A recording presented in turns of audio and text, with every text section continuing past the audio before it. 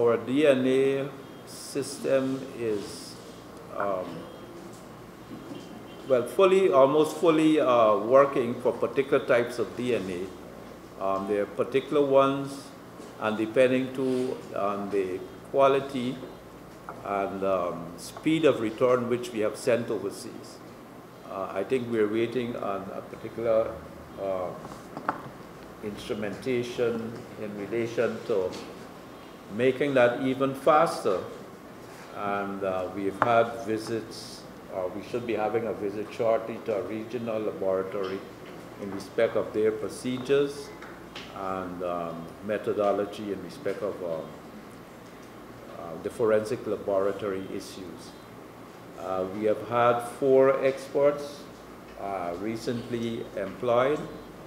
Um, these are doctorates and masters, uh, various specializations in terms of supporting work at the forensic laboratory, and they are already working uh, with us, and uh, we've seen improvements in making up the backlog which we have had for particular examinations at the, at the forensic, Guyana forensic sciences laboratory.